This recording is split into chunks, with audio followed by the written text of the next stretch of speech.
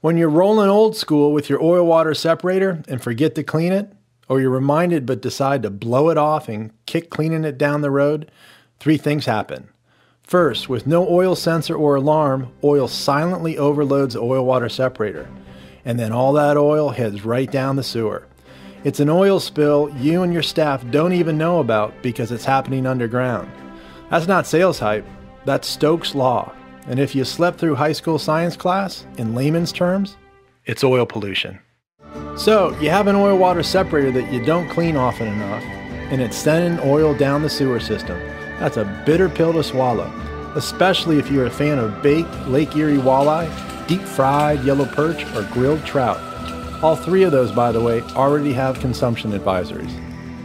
But hey, maybe you're a meat lover, not a fish fan. All that water you're drinking comes from the Lake Erie watershed, and here's some food for thought. It takes just one quart of oil to contaminate 2 million bottles of water.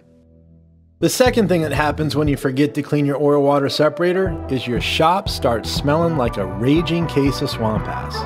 And finally, sludge overloads the system and drains back up. So here's the vision get your oil water separator cleaned more often by one of our big ass trucks. The question now is once a year often enough?